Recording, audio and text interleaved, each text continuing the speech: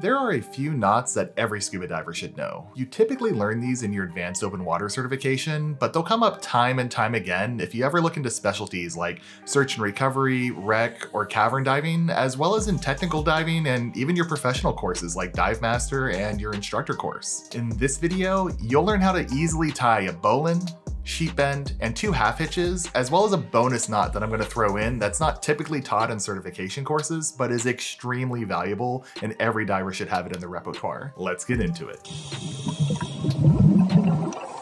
I'm Thomas Hughes, a professional scuba instructor, and on this channel, you'll see videos on scuba education, equipment, experiences, and environmental awareness. Let me quickly cover some of the terminology I might use during the demonstrations, and then we'll get right into the knots. And also, I have chapters down below, so if you want to skip to a specific knot, feel free to do so. And I recommend saving this video in like a scuba diving tip playlist or something like that, so you can reference it later if need be. First, we have what's called the working end or running end, which is going to be the line that we use to actually go ahead and tie the knot itself. That's in contrast to what's known as the standing end, which is going to be the more stationary object or the stationary end of the line or rope that we're using to tie off the knot. And I promise this will make a lot more sense when we start getting into the demonstrations. And I'm actually going to be using two different colored ropes, so it'll be a lot easier for you to distinguish, you know, what end's doing what and, and how the lines are actually laying together. Let's start with the bowline or bowline knot. The bowline is one of the most versatile knots, and some people call it the every knot. A bowline creates a reliable but easily untied loop that's versatile and can be tightened under pressure without actually loosening the knot. So the harder you pull, the tighter it gets. And while technically, if you're trying to save a life for rope climbing or something like that, there might be some extra things you want to do, like adding a half hitch. This bowline knot is something that we use in diving all the time when we need to rig, say, a lift bag or tie off something like that. If you only have time to learn one knot, the bowline's the one you're want to tie. So for this demonstration, I'm going to be using this orange rope here, and it is a little bit long, but you can still see for demonstration purposes how we would tie this knot. Now, there's a mnemonic that a lot of people will use, and I think it's taught in the Boy Scouts actually, about a rabbit and a tree. So I'm gonna go ahead and use that because that's actually how I learned this knot. And I think it's really helpful. But to start with, we're gonna take our stationary line and we're gonna form a loop in it. So just kind of a figure six, kind of curl over the line like that. We are then going to take our lead end, which is why having a long rope is a little bit difficult for this, but we'll take our lead end and our lead end over here is actually what's going to be used to tie the knot. So this is where the mnemonic comes into play. We say the lead end is our rabbit, this is the hole, and this is the tree standing up. And the rabbit is gonna come out of the hole, around the tree, and back into his hole. And you can see he's coming through, and where that lead line started, we can pull tight there and pull this left side and we'll tighten up the knot.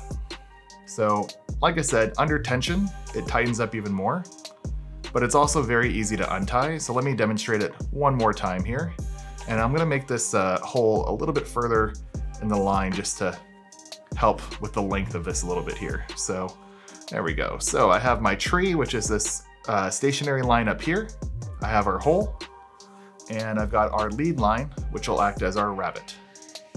The rabbit comes out of its hole, goes around the tree, back into its hole. Now I'm gonna take the two lines where the rabbit went. I'll take the tree and the hole line. I'll pull, and that makes our loop. And again, tighten under pressure, under tension, and it's still very easy to untie. And that is our bowline, or some people will say a bow line. By the way, if you're wondering where I got these ropes from, there are a couple kits available on Amazon, but the one that I picked up also included this card pack that shows you how to tie the knots that we tied today, as well as some additional knots as well, and I found it really convenient. So if you want this one, the link's down in the description. Next, we'll cover the sheet bend. A sheet bend is a useful knot when you need to extend the length of a line, especially when they're two different sizes, though they work when they're the same size as well, like we're gonna use in this demonstration. So I'll use two different colored ropes so it's a little bit easier for you to tell uh, the difference between the two lines. And I apologize, I don't have another color other than black and orange right now, so this black line might blend in a little bit, but hopefully there's enough separation with the white that you can see what's happening. For this demonstration, I am going to use the black rope as my stationary rope, and I will use the orange as our lead line so it's much easier to see what's happening. So first thing I'm going to do is I am going to make a little bit of a bend in the line here or in the rope. And I'll take my lead line and I'm going to feed it through that hole. I will bring it around the back of both sides of my other line. I can give myself a little bit of slack here. Then I'm gonna bring it back and under itself. So under my lead line or my orange line in this case. And I'll grab this right side, both sides. I'm gonna grab both sides of the black rope. And if I pull, we get our sheet bend, which that's not coming loose at all. And that just extended the length of line that I have, or the length of rope in this case. So this one's also very easy to undo and you might wanna add like a half hitch or two at the end to tie it off. But it's actually pretty similar to the bowline that we just covered. And again, this is a, one that we'll do for um, our advanced open water class as well as uh, for other PADI specialties and things like that too. So this is a useful one to know. But again, you know, have your loop here. So think of this almost as the hole for the rabbit in a sense. And we're gonna come out, come around the back side, give ourselves some slack. We take this and instead of going through the hole, we're gonna go under ourselves instead. So again, we're coming under the orange rope. And then we can pull both orange and both black at the same time to snug up the knot. And there is our sheet bend. Okay, let's wrap up with the knot that's taught in most scuba courses, which is the two half hitches. Uh, this is a great knot because it allows you to tie off to a mooring ring or maybe a post or something like that. And technically it can be tied one-handed as well. I know with the other knots I was somewhat doing it one-handed, but uh, this one specifically can be done one-handed fairly easily. So we'll go ahead and show you how to tie the two half hitches. Now stick around after this though, because I am gonna show a bonus knot after this that's not taught in any of the PADI courses that I've taken, even as an instructor so far, and it's really a shame because it's a very useful knot that a lot of people use on their equipment. So for two half hitches, I'm gonna tie off to a post, which will be, in this case, simulated by our black rope here, and I'm gonna use our orange line again as our lead line and the one that we're gonna use to tie the knot itself. So what we'll do is we'll take our lead line and we'll go around the object we are going to hitch off to, in this case, this rope here. And I'm gonna give myself a little bit of slack, just to give myself some space to work with again. And now this will be the, in my opinion, the easiest knot you do, but take whatever you do, just remember you always go the same direction. So in this case, I'm going left, my lead line is my left line, and I'm gonna go over right, and I'm gonna pull it through. And you can snug it down if you want. That's a single hitch. Okay, now I'm gonna go left over right again and pull it through, and that's gonna finish my two half hitches. One, two. So these are also something you can add to the end of a sheet bend or a bowline to add just an extra lock, I guess you could say, to help keep that knot from slipping even more so. But this half hitch is a good way to, again, tie off a mooring or a post or something like that. So let me show you it one more time and I'll try to do it one-handed while on camera, which uh, we always know how live demonstrations go. So let's see how this goes here. But let's say again, I'm gonna take my orange rope or line and I wanna tie off to our black post or a hitch or mooring ring or whatever it is. So I'm gonna go over. Okay, I'm gonna give myself a little bit of slack here. We're gonna go left over right, left over right, bring it through, and it'll look like this. And I am gonna snug it down with both hands, I guess, just for ease of the camera. There's my single hitch, and then I'm gonna go left over right again, bring it through, and now I could pull it tight, but again, for the camera purposes and framing so I don't cross the uh, lens here too bad, we're gonna snug it with two hands. And that is two half hitches, one, two. And let me do it one more time just to make sure to show you keeping it the same direction. So again, giving myself some slack here, I'm going over the line, I'm doing left, over right, pull it through, left, over right, pull it through, two half hitches, all done. Next is our bonus knot, a fisherman's knot. A fisherman's knot isn't taught in most classes in PADI, and I don't really understand why, as it's quite versatile and it's very useful to know, and it allows you to do things like have adjustable loops for, say, uh, the bungee for a computer on your wrist, or maybe a compass that's wrist mounted as well. This is also how you can make a regulator necklace out of some bungee, so you can have your necklace around your neck and have the little spot for your regulator to sit in, so when you donate your long hose, if you have a long hose setup, your primary is right around your neck and you can dip your head down, grab that regulator instead.